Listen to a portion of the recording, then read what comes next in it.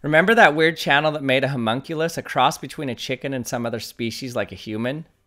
Well, I'm gonna try it. First, I need some DNA, and no, I'm not gonna use human DNA. I got this DNA from strawberries.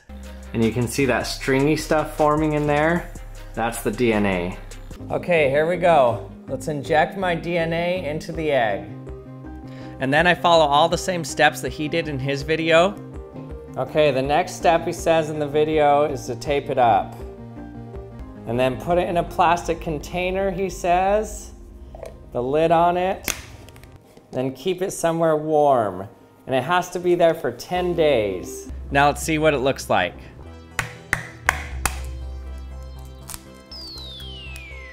Whoa, something's there. What is that? Look at that. I even followed the final step that he didn't mention of putting something fake in the egg.